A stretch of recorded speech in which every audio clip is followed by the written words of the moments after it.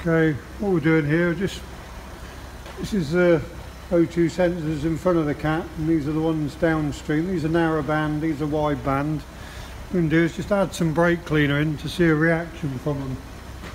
So we're just spraying it in here into the air intake like so. So as we do that, we'll film the screen and you'll see the reaction. What we want to do is these ones drop down. Rich is a low voltage and rich on these is a high voltage. As you can see, we're spraying it now.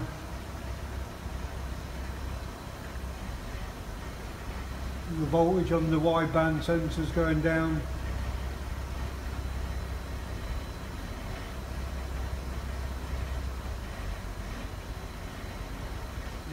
Point two, they're both reading good, that's great.